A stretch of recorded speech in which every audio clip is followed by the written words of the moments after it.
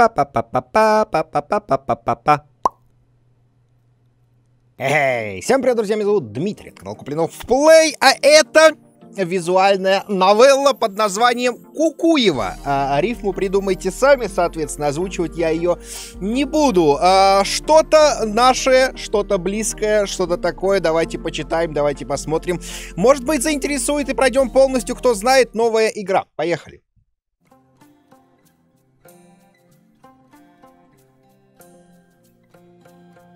А, все, уволен. Завтра можешь не приходить. Что? Игорь Николаевич, я же вам уже объяснил, что произошедшее не имеет ко мне никакого отношения. Из последних сил я пытался убедить начальника в своей правоте. А, это в смысле, из последних сил, окей. Доступ к корпоративной почте вчера имел только ты. Значит, никто, кроме тебя, не мог отослать заказчику тот слоган. Но, Игорь Николаевич, начал было я, но начальник перебил меня. Дмитрий Сергеевич, освободите, пожалуйста, рабочее место. Приказ о вашем увольнении я уже подписал. Всего доброго. Сказав это, Игорь Николаевич развел руками и двинулся по направлению к своему кабинету.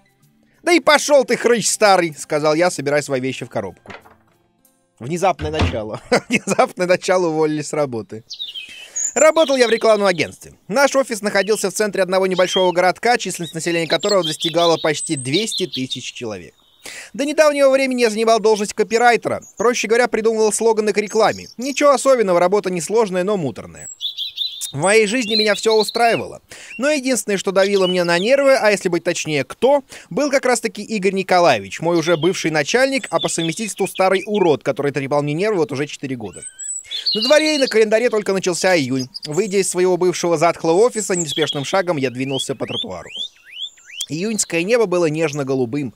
Птицы пели на деревьях, окружающая атмосфера вселяла спокойствие, и если бы не мой недавний инцидент на работе, вероятно, я бы сейчас не злился на весь окружающий меня мир. По правде говоря, я понимал, почему все произошло именно так. И дело тут совсем не в письме, которое, по словам моего горе-босса, ушло к заказчику именно от меня. Все дело было в том, что не так давно, где-то с неделю назад, я заступился за новенькую сотрудницу, до которой лез с упреками этот старикашка. Не знаю, что он хотел добиться, то ли он пытался поднять свой авторитет в коллективе, который находился ниже Плинтуса, то ли хотел подкатить к новенькой сотруднице, но по итогу мой бывший начальник сказал мне тогда «Зря, Дима, зря, недолго тебе тут осталось». Видимо, это я неслышно выругался под нос. А, вспомнив это, я неслышно выругался под нос. Благо, никто этого не услышал. На улице было на удивление безлюдно, и лишь проезжающие мимо автомобили не давали мне окончательно погрузиться в себя и свои раздумья. Может, отношения на работе не сложились из-за моих взглядов на жизнь, а точнее нежелание мое донести эти взгляды до окружающих. Я никогда не любил рассказывать сам о себе. У меня это не особо хорошо получалось, да и, по правде говоря, рассказывать мне не особо, особо было нечего. Можно как-то на Ctrl, пропуск... Ctrl пропускать э, на пробел. Обычное детство во дворе с пацанами, спортивные секции, первая любовь, поступление в университет, а в последующем отчисление из него. Родители, конечно, не хотели мириться с моим выбором, но их сопротивление продолжалось недолго, ровно до того момента, пока я самостоятельно не съехал от них в собственную двухкомнатную квартиру в центре города. А где ты ее взял? Нихуя себе, ты же копирайтер, просто обычный говоришь. Без мам, пап и кредитов прозвучала забавная фраза у меня в голове. Мысли донимали меня до самого дома. Нет, я не испытывал проблемы в деньгах, не нуждался в жилье, просто по натуре я был из тех людей, которые не могли сидеть на месте. Собственно, наверное, именно поэтому у меня получалось добывать дополнительные от основного заработка деньги. Дополнительный заработок, в свою очередь, представлял из себя обычный слив данных, к которым я имел доступ из-за своей работы. Так это уголовно наказуемо, дурачок. Некоторые заинтересованные компании обращались ко мне с просьбой слить их конкурентов, взамен обещая небольшое, а, неплохое вознаграждение. Один раз я даже чуть было не попался, когда мой товарищ по работе открыл компьютер, на котором я закрыл, а, забыл закрыть почту. Но все обошлось. Все деньги, полученные вот таким вот нехитрым способом, я предусмотрительно откладывал на черный день. «Вот этот день и настал», — сказал я сам себе, доставая ключи из кармана и вставляя их в замочную скважину. Зайдя домой, я положил коробку с вещами на стул, а сам, помыв руки, пошел к компьютеру, который из-за своей невнимательности забыл вчера выключить. «Что делать дальше?» — произнес я вслух не ожидая получить ответ на данный вопрос. Посидев с минуту в удобном кресле, я не придумал ничего лучше, чем сейчас же отправиться спать. Утро все-таки. Да, утро. Утро, так говорится, да, почему бы и не поспать. Солнце било мне в глаза. Зажмурившись, я огляделся по сторонам. Как оказалось, я стою посреди леса, деревья в котором только-только начали распускать листья. Ярко-зеленая трава примялась подо мной, и я перевалился с ноги на ногу. Какой-то до боли знакомый лес. Разве мне доводилось здесь бывать? В этот момент меня кто-то окликнул несколько раз. Поняв, откуда идет звук, я обернулся и обомлел. Вдалеке стояла моя бабушка и махала мне рукой. Не задумываясь ни на секунду, со всех ног я ринулся к ней в объятия, и тот момент, когда между нами оставалось считанные метры, все начало растворяться в густом тумане. Куда бы я ни бежал, этот проклятый туман не кончался, а напротив только усилился. Упав от бессилия на землю, я заплакал. Это типа сон? Нихера себе, какая модная кровать. Проснулся я от того, что по моим щекам обильно текут слезы.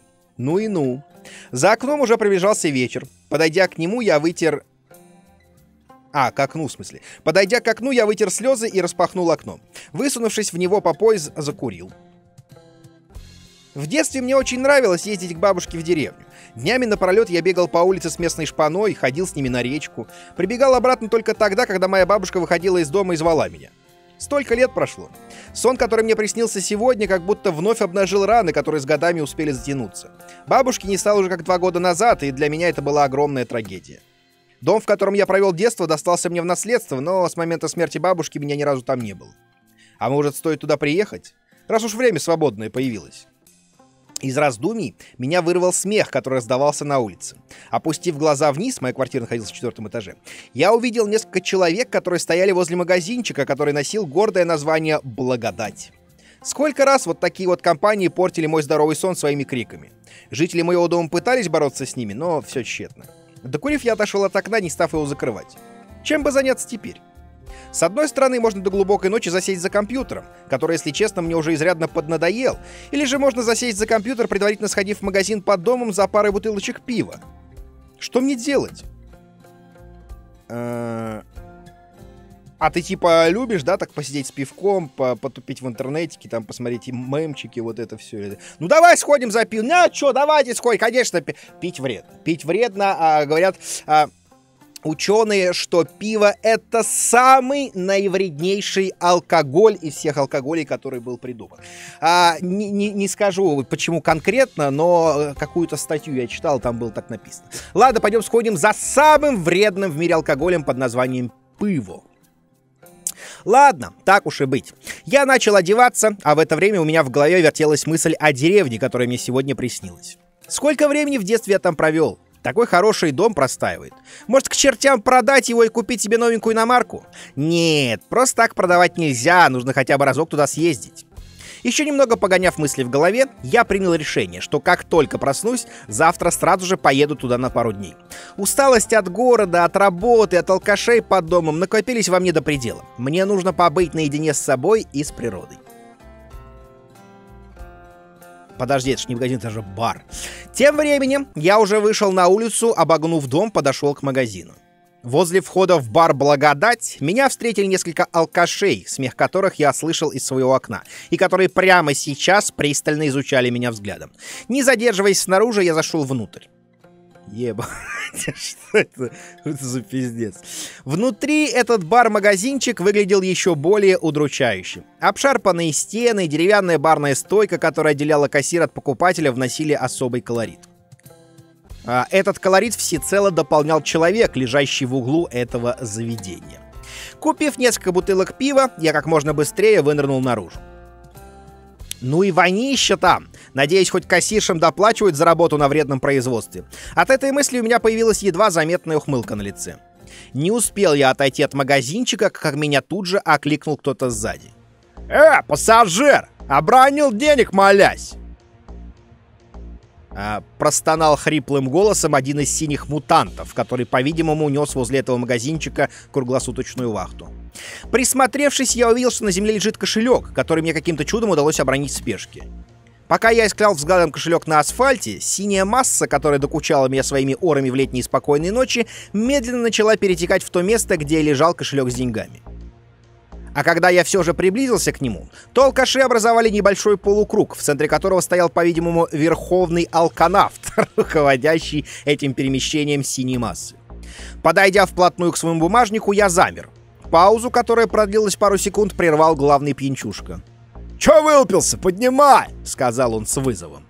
Я понимал патовость ситуации, в которой оказался. В этот момент мне в голову не пришло ничего лучше, чем сказать «Чё столпились-то, орки?» Ты ебанутый. Тебя сейчас примут нахуй. Это, нет, ты смотри какой, нихуя себе бокал модный какой стоит. Да это же это не синяя масса, это местная аристократия. По толпе синих-ботов прокатилось возбужденное эхо, которое прекратилось только после того, как главный алкаш поднял руку, успокаивая непослушное синее стадо. «Слышь, терпила, ты чё ляпнул? То есть братва тебе помогла, а ты вместо того, чтобы нам половы отсыпать, начинаешь на честных людей договаривать? Не дело! А, воины вы Итиловые, а не братва. Ебать, он, он себя хоронит прям сейчас сильно. Сказав это, я достал перцовый баллончик и в лучших традициях голливудских боевиков крутанулся вокруг своей оси, разбрызгивая жгучий, перед... Э, жгучий перец прямо в лицо гопникам. Бля, жест, жест, жест, жест. А, стадо вокруг меня мигом испарилось. Остался только их предводитель. Несколько секунд он крутил головой вокруг себя, а после посмотрел на меня и выдал. «Ну ты все, сука, допрыгался!» Я и не заметил, как у него в руке появился острый, как бритва, нож. Он накинулся на меня. Моя прыткость, которую мне удалось прокачать, занимаясь в свое время карате, в этот раз меня не подвела. Нож пролетел ровно в том месте, в котором я находился буквально мгновение назад. Мига, сориентировавшись в пространстве, Синебот кинулся в новую атаку. Мне ничего не оставалось, как вновь отпрыгнуть от опасного броска. Но в этот раз я совершил чудовищную ошибку. Забыл прижать пакет с несколькими бутылками спиртного к груди, из-за чего мое неуклюжее падение пришлось на спину. По инерции пакет с бутылками пива продолжал полет и прилетел мне в четко в нос, который через мгновение после удара начал кровоточить. Алкаш наблюдал за моим падением. Поняв, что больше у меня не будет возможности прыгать от него, он сделал финальный рывок, целясь своим острым ножом четко в центр моего живота. Казалось, спасения нет. Но мои ноги, которые я тренировал долгими часами, занимаясь боевыми единоборствами, сделали машинальное движение, от которого алкаш повалился рядом со мной на землю. «Вот же, блядь!» А, вот же, блядь, пронеслось у меня в голове, когда я увидел, как лезвие ножа вошло четко между ребер моего нападавшего. Алкаш больше не шевелился. Тонкая струйка крови потянулась из его раны, а тупое выражение навечно застыло на его пропитом лице. Рывком я поднялся и побежал к дому, попутно прихватив свой кошелек, который алкаш в момент атаки пнул в мою сторону. Вслед мне кричали его дружки, которые уже начали приходить в себя. Забежав домой, я не разуваясь пробежал в свою комнату, из которой у меня выходил вид на этот злополучный магазин. Вокруг уже собралась толпа, в центре которой лежал синий вояка, перевернутый на спину. Нож торчал со стороны его сердца, выражение лица не поменялось, разве что тон его кожи приобрел более бледный вид. Разглядывал я его до тех пор, пока на горизонте не замаячили мигалки скорой помощи и полиции. Что же со мной будет? Может, просто выйти сдаться, сроку меньше дадут как-никак. Беспорядочно метались мысли у меня в голове. Скорая уехала быстро. Упаковав труп в черный мешок, они покинули место происшествия. Как понять, а там опись, э, расследование, какие-то улики? Нет, должны же вроде милиция была поработать. А вот полиция задержалась на более длительный срок. После того, как ими было изучено место преступления, они перешли к опросу людей. Каково же было мое удивление, когда друзья мертвого алкаша начали рассказывать про меня, про нашу с ним драку и про мое бегство. Неужто они думают, что это я виноват в случившемся? Сев на диван, я достал бутылку пива. Пакет я так и не выпустил из рук. Думай, Дима, думай, что же делать? Но никаких дельных мыслей ко мне так и не пришло. Лишь когда я допил все пиво, у меня появилась странная для этой ситуации идея, которая влетела ураганом в мою раненую сражением голову. Деревня! А что если просто поехать в деревню? Про это недоразумение природы все забудут через считанные дни. Плюс люди, адекватные люди, подтвердят, что я ни в чем не виноват. Это была чистая самооборона. Хотя какая тут самооборона, я его и пальцем-то не тронул. Пусть отпечатки возьмут. До 100% по камерам все видно. А если спросят, что убегал, так я отвечу им в стиле одного из современников. А что догоняли? Все это я говорил вслух, не в силах больше удерживать мысли о произошедшем в себе. Волей-неволей я смог взбодриться, и теперь все произошедшее не казалось мне чем-то страшным. Но вспомнив, как работает правоохранительная система у нас в стране, я вновь приуныл. Ладно, хватит на сегодня, пора в душе спать, а завтра поеду в деревенский схрон. С этими мыслями я отправился в ванну.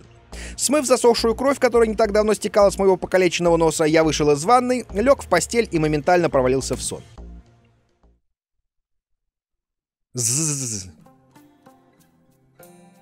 Мое пробуждение было весьма болезненным. Голова раскалывалась, руки подрагивали, а спина неприятно ныла от боли после вчерашнего падения на землю. Надо хотя бы таблетку выпить. Отодрав себя от дивана, пошатываясь, я прошел на кухню. Выпив таблетку, вернулся к себе в комнату. Всего на секунду мой взгляд устремился в окно, и все произошедшее вчера события навалились на меня с новой силой. Огромное пятно крови возле многострадального бара заставило мое тело вновь вздрогнуть от страха. Это был не сон, а реальность. Жестокая и беспощадная реальность. Схватившись за голову, я присел на диван и начал думать. Со скрипом, будто бы нехотя, шестеренки мыслей начали раскручиваться у меня в голове. Ночная идея уехать в деревню уже не казалась мне такой шикарной. Какая к черту деревня? Ты вляпался по самой не хочу, надо выбираться из сложившейся ситуации, а не бежать от нее на всех парах непонятно куда. Плюс ко всему, с чего ты так уверен, что тебя там не найдут? Нет, ну конечно, первым делом тебя будут искать тут, в городе. Но почему ты вдруг решил, что они не заявятся в твои деревенские хоромы? Дом-то на тебя оформлен официально. Еще немного подумав о сложившейся ситуации, я принял окончательное и правильное решение. Ну надо сдаться. Что бегать-то, блядь, ни в чем же реально не виноват. Нет, последнее, что я сделаю, это когда буду убегать от кого-то. Надо открыто смотреть своим страхом в лицо. Дима докажет, что несмотря на то, что мертвым оказалось именно синее чудовище, потерпевшим является именно он, воодушевленно сказал я о себе в третьем лице. С настроем, которому могли позавидовать даже спартанцы, вышедшие в свое время на бой с перцами, я отправился в ближайший полицейский участок. На улице стояла шикарная июньская погода. Солнце приятно освещало окружающее пространство. Зеленые кроны деревьев неслышно шумели, переливаясь в золотистых лучах. Людей на улице было немного, а те, что были, в подавляющем большинстве являлись работниками коммунальных служб, которые уже потихоньку начали менять трубы по всему городу. Неспешным шагом, двигаясь по спокойной и зеленой провинциальной улице, я подошел к полицейскому участку. Немного помедлив на пороге, прошел внутрь, предварительно перекрестившись на всякий случай. Похуже не будет. Меня завели в тесный кабинет, в котором из мебели было два стула и стол. За единственным окном, находящимся в этой комнате, была решетка. За столом сидел задумчивый следователь, который сначала никак не отреагировал на мой приход, но уже через мгновение, после того, как деревянная дверь за моей спиной со скрипом закрылась, он начал вести допрос. «Зачем вы его убили?» — спросил он, э, поднимая на меня глаза. «Я? Да это он набросился на меня с ножом!» А вот его друзья утверждают, что это именно вы набросились на него, а он лишь защищался. Негодование росло во мне с каждой его репликой. Но его никто и пальцем не тронул, говоря, откровенно, потерпевшим тут является не это синее быдло, а я. Раз вы являетесь потерпевшим, чего ж побои не сняли? Он указал пальцем на мой нос. А, это... Мне не нашлось, что ответить. Помимо этого, люди, которые наблюдали за потасовкой со стороны, сказали, что вы кого-то из них ограбили. Это подтверждает и видео с камер наблюдения. «Вы про мой кошелек, что ли?» — в недоумении выдал я. «Ну, то, что он ваш, еще доказать надо». «А что, по камерам не видно, как он, меня из, как он меня из кармана выпал?» «Не видно», — сказал следователь. Допрос продолжался еще три часа. Сто раз я успел пожалеть о том, что не решился уехать в деревню на месяц-другой. По версии следствия выходило, что это именно я набросился на беззащитного синебота, который всего лишь мирно стоял у магазина. Надежда вернуться сегодня домой погасла во мне окончательно, когда следователь вызвал какого-то кого-то к нам в кабинет. Этот кто-то поднял меня рывком со стула, заломал и вывел из здания полиции. Как потом стало ясно, меня было решено доставить в СИЗО для выяснения дальнейших обстоятельств. Побыв в следственном изоляторе несколько дней, я понял, что это не такое уж и плохое место. Нахождение в этом государственном учреждении не причиняло мне никаких неудобств. Лишь изредка мне приходилось ловить на себе озабоченные взгляды видавших видов зэков. В одну из ночей я проснулся от того, что кто-то зажал мне рот огромной и вонючей ладонью. Моя попытка рывком подняться на ноги не увенчалась успехом. Меня держат несколько человек. Спустя еще несколько секунд перед моими глазами возникла острая заточка, а после показалось страшное лицо зэка, похожее на морду сфинкса. «Это тебе за хриплого, сучара!» Сказав это, зэк резкими отточными движениями возил несколько раз лезвие заточки в область моего живота — я пытался вырваться, кричать, но все было тщетно. Постепенно мое сознание угасало. Лицо Зека начало пропадать, а на его месте перед глазами появился пляж с бархатным песком. Вместо переговоров заключенных мой слуг начал э, улавливать звуки моря и чаек. Теперь все будет хорошо.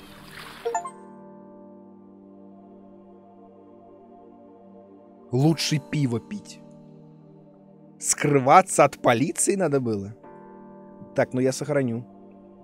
Окей, вернуться. 20 минут прошло. Ну давайте скрываться от полиции посмотрим.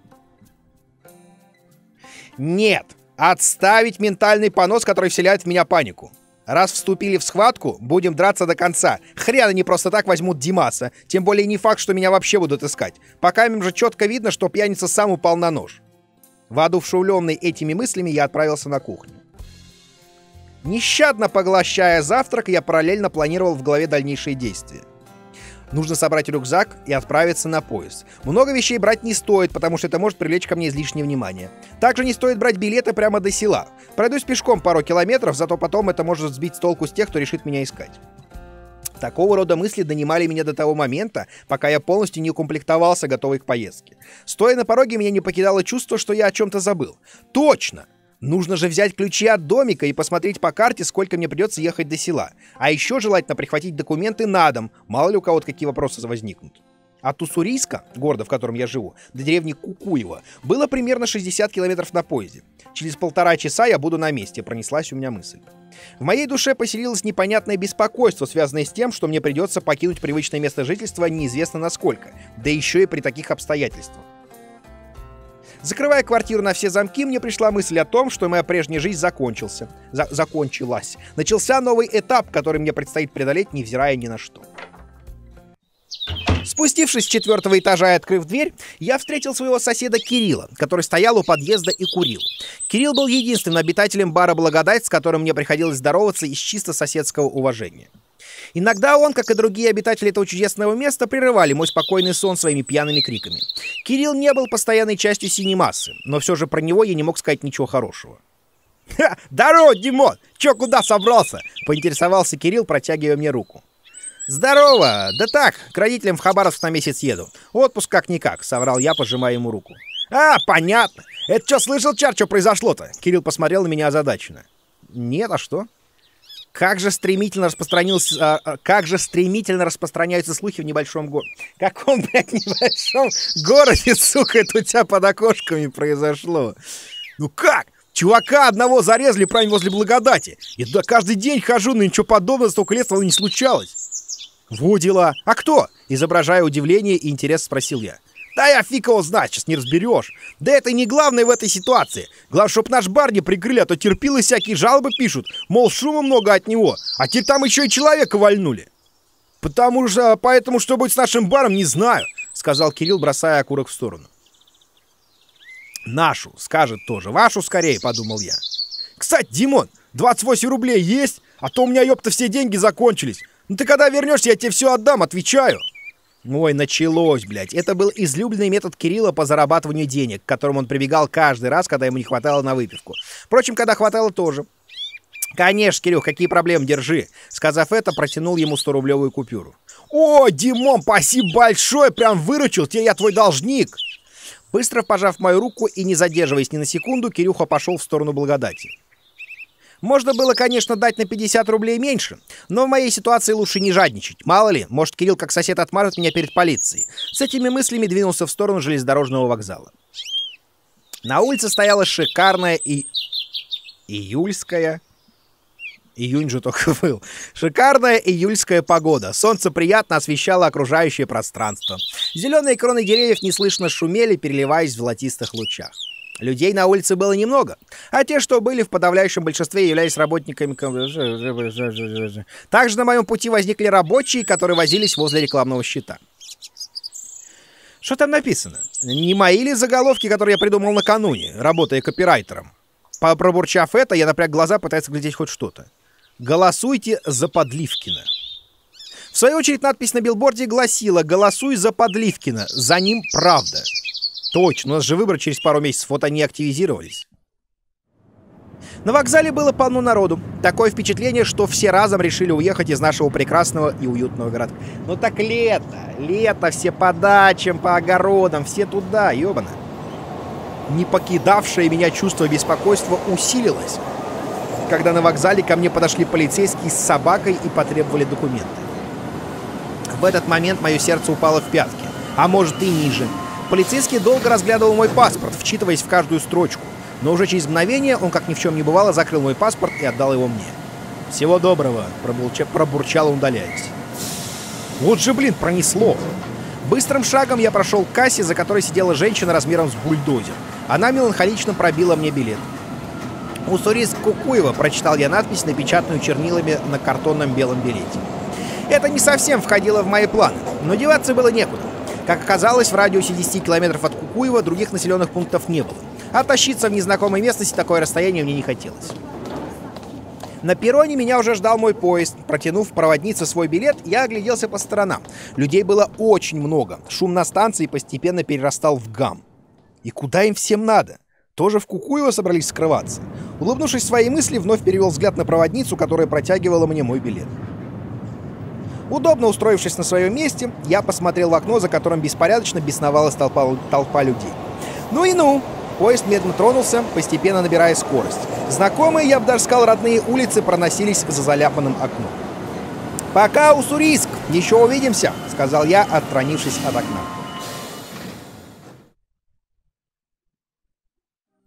Вот же она!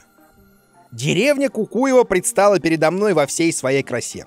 Выйдя из поезда на разрушенный временем перрон, я ощутил свежее дуновение ветра, которое заставило поежиться мое сонное тело. Поезд начал медленно двигаться дальше, только тогда мне бросилось в глаза, что на перроне нет никого, кроме меня. «Отлично! Меньше народу, больше кислороду», — подумал я и двигаясь неспешным шагом по направлению к лестнице.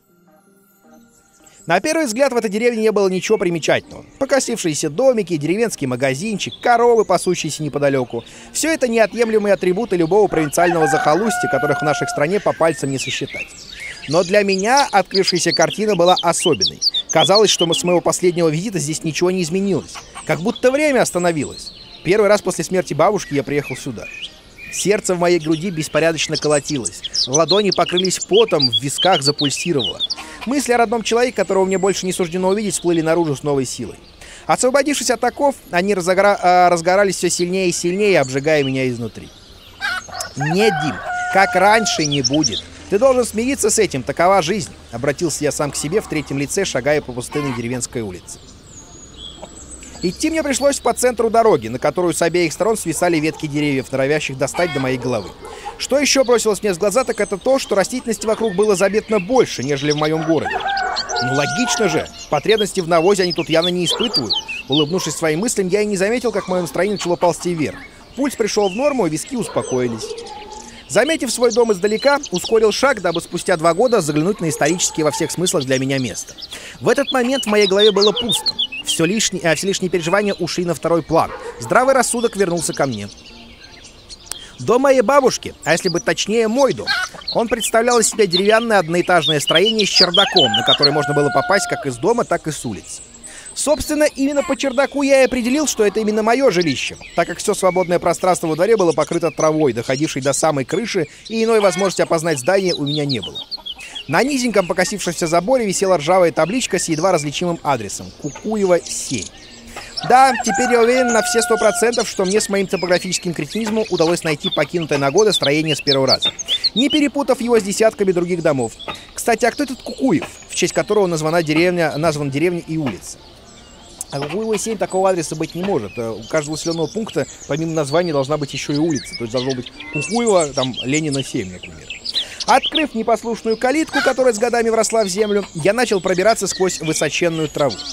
Первым делом надо будет покосить здесь все, подумалось мне, и в эту же секунду, споткнувшись о выступающий камень, я полетел вперед, не разбирая дороги.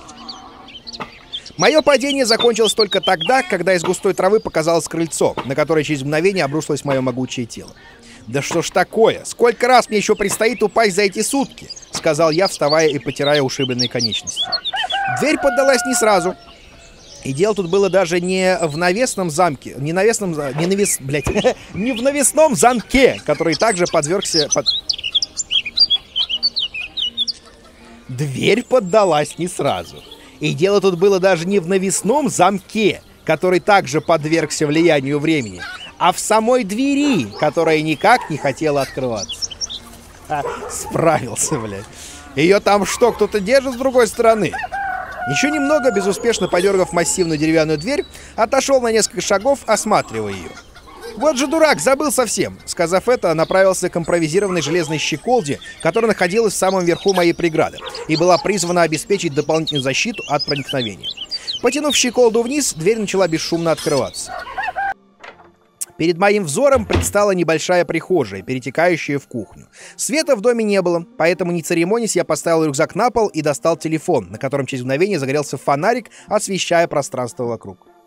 Да, несмотря на то, что на небе не было ни облачка, в моем новом жилище было очень темно. Причиной этого могла служить только трава, которая глухой стеной загораживала окна и не давала свету пробиться через непродолимую преграду. Фотоны света пролетели 150 миллионов километров от Солнца до Земли, и им не хватило каких-то пары метров, чтобы достичь своей цели. Решив, что пока рано разуваться, я прошел вовнутрь дома в обуви.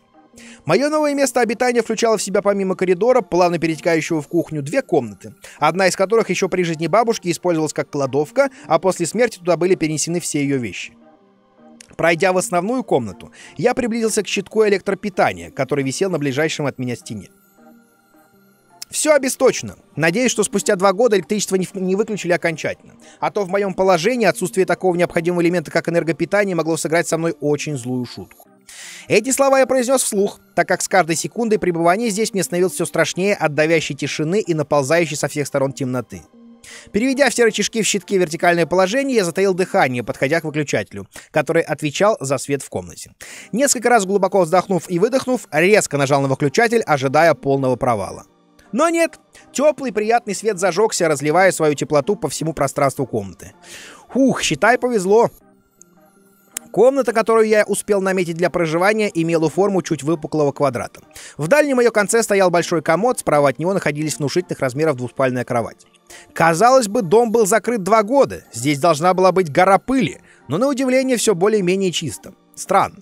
Ну, а, а почему здесь должна быть пыль, блядь, если здесь как бы, ну, типа, закрыто все, ничего не летит, вроде ветер, не знаю. От моего монолога меня оторвало едва заметное шевеление, которое я уловил краем левого глаза. Сначала мне было непонятно, откуда исходит это странное движение. Но присмотревшись, до меня окончательно дошло. Это лучики света пытаются пробиться через толщу травы. С этим что-то надо делать немедленно. Мое немедленно значило, что перед тем, как приниматься за работу, я должен обязательно как следует подкрепиться и попить чаю, который в этот раз мне удалось прихватить с собой в термосе. На удивление, нахождение в доме никак не давило на меня. Наоборот, мое настроение начало подниматься перед осознанием того, что наконец-то мне удалось сбежать от городской суеты, которая в последнее время все сильнее давила на мой чистый рассудок. Свежий воздух опьянял меня, солнце придавало сил, я был готов к полноценному труду. Перво-наперво было необходимо скосить всю траву, которая каким-то образом достигла невероятной высоты уже в начале июня. Опять июнь. А что было бы в августе? Смог бы я тогда отыскать свой дом? Ручная коса еще советских времен находилась в импровизированном сарае рядом с домом, в котором хранилось все необходимое для ведения деревенского быта. Выйдя на крыльцо, перед моим взором предстала стена травы, которая, чувствуя, что доживает свои последние часы, принялась сильно колы- колыхаться на ветру. «Тебе это все равно не поможет», — сказал я с вызовом, спускаясь с крыльца. «Так, теперь главное вспомнить, в какой стране этот сарай». С горем пополам, добравшись до заветной цели, я подошел к покосившемуся от времени сараю с инструментами. Зеленой облупленной краски на этом строении оставалось совсем немного. В подавляющем большинстве сарай был покрыт ржавчиной темно-рыжего цвета. Схуяли на нем ржавчина-то была. «Да, время не щадит никого», — сказал я, доставая ключи от замка. Открыв дверь, передо мной предстало длинное помещение, по бокам которого располагались различные инструменты. Косу искать мне не пришлось, она висела на ближайшей от меня стене. Я взял ее в руки, дабы осмотреть. Черт, ничего не видно в этом полумраке. После осмотра косы под полуденным солнцем меня в который раз за день охватило удивление. Лезвие косы поблескивало на солнце как новое. Ручка, которая, по идее, столько лет должна была сгнить в сырости, представляла себе крепкую и приятную на ощупь древесину. Здесь кто-то живет? Я точно в свой дом залез? Почему все в таком хорошем состоянии? Недоумению моему не было предела. Инструмент был у меня в руках, готовый к использованию, а это значило, что пора начинать косить. Этот процесс занял у меня весь день. Я изрядно устал и пропотелся, выполняя этот нелегкий труд. Несколько раз возле моей калитки проходили люди, которые смотрели на меня с подозрением, но меня их взгляды ничуть не смущали. Пусть смотрят, мне не жалко. Уже вечером, осматривая результаты своего титанического труда, я заметил, что из-за забора с соседнего участка на меня смотрит пожилая женщина, которая мне кого-то напоминала. «Милок, подойди, будь добр», — обратилась ко мне незнакомка. Положив косу на землю возле дома, я зашагал к ней. И все же она мне кого-то напоминает. «Здравствуйте!» — бодро поздоровавшись, остановился в нескольких метрах от нее. Она облокотилась на забор, задумчиво оглядывая меня. «Ты чьих будешь?» — вопросительно спросила соседка. «Э, «Я внук Клавдии Ивановны, вот приехал проведать участок». «А, так вот оно что! Как там тебя звать-то? Дима вроде?» «Да, мы знакомы?» — неудуме... неу... неу... недоуменно выдал я. «А как же! Я тебя еще вот таким помню!» Она опустила руку к земле. До меня наконец начало что-то доходить. «Анастасия Павловна?» «Она самая! Мы с твоей бабушкой всю жизнь дружили!» Между нами повисла неловкая пауза. Прервала затянувшееся молчание Анастасия Павловна. «А ты что же это, надолго?» Она вопросительно посмотрела на меня. «Да, вроде нет. Ну, может, на пару недель максимум», — задумчиво произнес я, так как мне самому было не до конца ясно, сколько продлится мое пребывание в этой деревне. «Ну, ты давай заходи, чаю попьем, обсудим дела насущные». Бабушка приветливо махнула мне рукой. А, «Не сочтите за наглость, Анастасия Павловна, но мне придется отказаться от вашего предложения. Очень уж уработался за сегодня». «Ну, как знаешь, милок, как знаешь. Но ты все равно заходи, не стесняйся», — сказала бабушка, улыбнувшись. «До свидания», — сказал я, поворачиваясь и направляясь к дому. «Только ты этого самого!» Анастасия Павловна замялась. «Ночью не выходи особо, а то мало ли что может случиться. Местные мужики дикие, им тебе привыкнуть надо будет». «Э, «Как скажете». «Все, больше не задерживаю, иди». Бабушка махнула на прощание рукой и, развернувшись резвым шагом, засеменила к дому. «Странная она какая-то», — подумал я, заходя в дом и закрывая его на стальную щеколду. Растопив печь, налил в чашку чай, который за весь день успел остыть в термосе. Пляшущее пламя отбрасывало загадочные блики, которые мое уставшее за день сознание принимало за существ, прибывших с далеких галактик.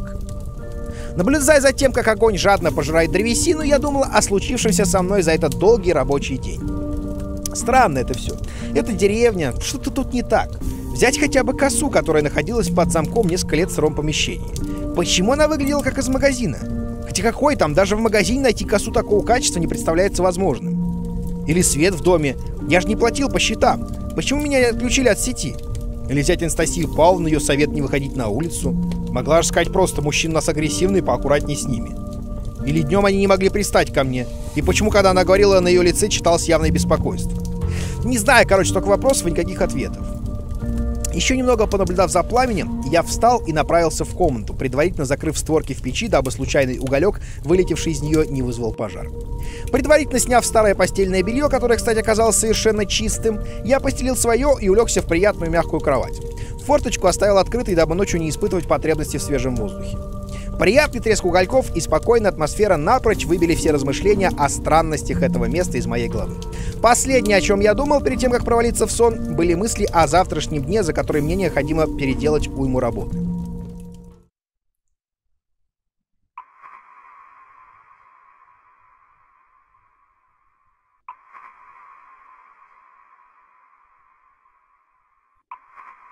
Дом внутри выглядит немножко как-то больше, чем э, снаружи. Пробуждение мое было неожиданным. Вначале было непонятно, что прервало мой сон. Но прислушавшись я, прислушавшись, я понял, что слышу, как что-то бьется в стекло. Вот, на этом мы сохранимся. Если вдруг, то продолжим именно отсюда. Пока непонятно так сказать, решим, посмотрим э, постепенно. Если что, ссылка в описании под видео. Подписывайтесь на канал, на паблик, на телеграм, комментируйте, ставьте лайки, не забывайте про колокольчик, ставьте все уведомления. Встреч в следующих игрушек или в следующей серии, ребятушки. Всем пока. Раньше здесь был мат.